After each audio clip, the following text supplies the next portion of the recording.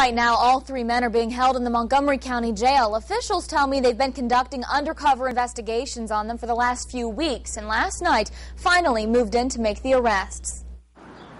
The Montgomery County Range Task Force is staying busy. On Thursday, two separate investigations resulted in the arrest of three people and thousands of dollars in cash and drugs confiscated by police. The first bust happened here at the Motel 6 on Main Street in Englewood. Officials say a traffic stop initially tipped them off.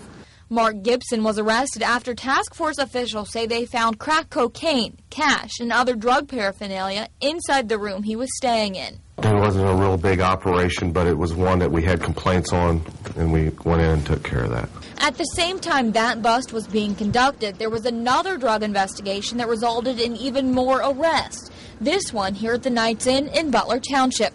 Deputies arrested Daryl Stallings and James Hamilton. They say they also recovered stacks of cash, crack cocaine, and heroin. This is a lower street level type um, task force that could build up to a larger one.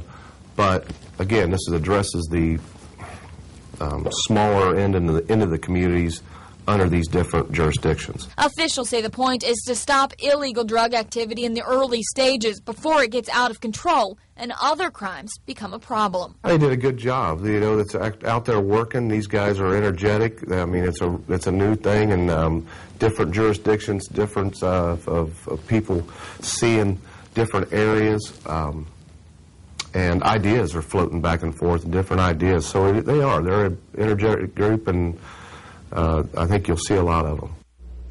Now, tonight, all three men are charged with drug trafficking, but officials say the investigations are ongoing, so more charges could be filed in the future.